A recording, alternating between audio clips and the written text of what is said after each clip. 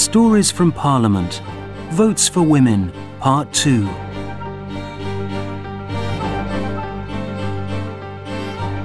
As Lady Constance Lytton, with influential friends, I'd been given special treatment in prison.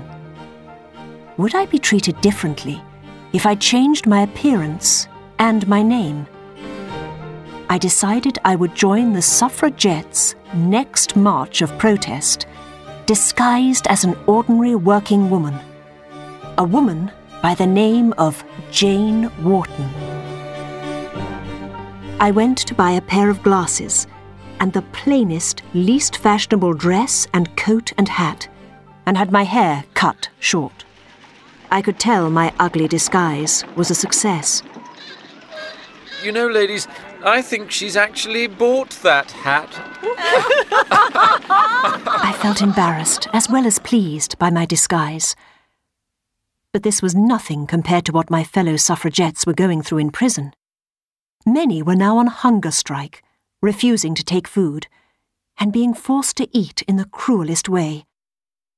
So I travelled by train up to Liverpool to join the protest outside the prison, where we knew this cruel treatment was in force.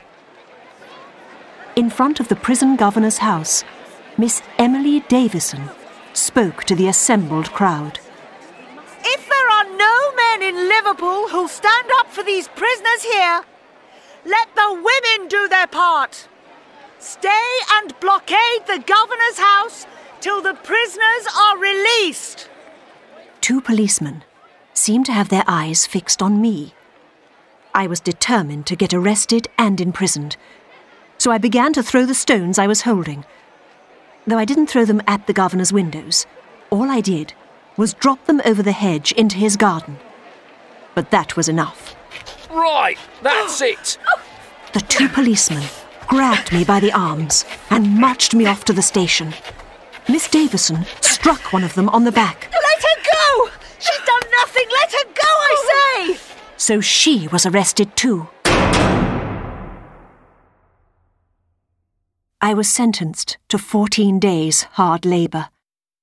And thanks to my disguise, Jane Wharton, as I now was, received none of the special treatment that had been offered to Lady Lytton.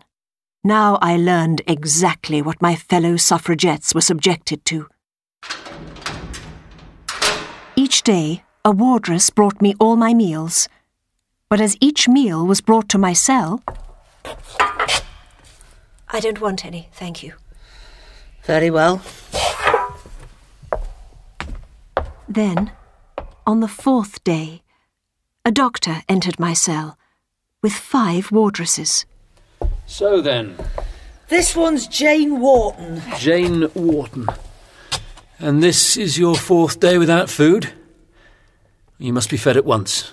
But I would urge you to take food willingly. You'll find it much more pleasant. When our government gives votes to women, I shall eat. This is absurd behaviour, all started by that Dunlop woman. Miss Wallace Dunlop began the hunger strikes, and all imprisoned suffragettes now follow her example. Very well. Let's lie her down on her bed. Oh. Come on. Why must you women resist? This is no way to help your cause. Then he oh. thrust a tube down my throat. I choked as it reached inside. Down and down it went. Then the sloppy liquid food was poured in. It made me sick in seconds. It seemed an eternity before they took the tube out. I knew that Lady Constance Lytton would not have been treated like this. But ordinary Jane Wharton was a despised, helpless creature. And when she was out of prison, no one would believe a word she said. There were so many Jane Whartons in our land. We had to help them by winning votes for women. Before long, through the wall, I heard the sounds of forced feeding in the cell next to mine. It was almost more than I could bear. But at last, the ghastly process was over, and all was quiet. Then I tapped on the wall and called out, No surrender. Votes for women. And there came an answer from beyond the wall. No surrender. Votes for women. I think it was Miss Davison. I couldn't be sure. But now, as I think back, I am quite sure of her most famous deed. On the 4th of June, 1913, Emily Davison was at the front of the crowd at the Epsom Derby. With the horse race in full flow, she stepped under the barrier and onto the track. Two horses thundered past her. But as another, the king's horse, galloped round the bend, she lunged towards it and was bowled over and trampled under its hooves. Some said it was suicide, to bring attention to our cause. But Emily had bought a return ticket to the race.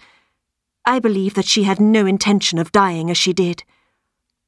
I believe that she was trying to hang a suffragette flag on the passing horse, so that when it crossed the finishing line, the King's own horse would be flying the slogan, Votes for Women. Perhaps it was a turning point. I don't know. It had taken years.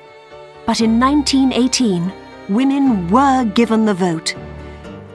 If they were over 30.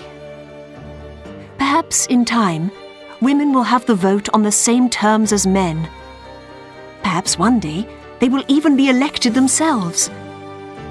I hope for this, at least, that anyone in future times who has the right to vote will use it and will remember the struggles of the suffragettes. Deeds, not words. Deeds, not words. Deeds, not words.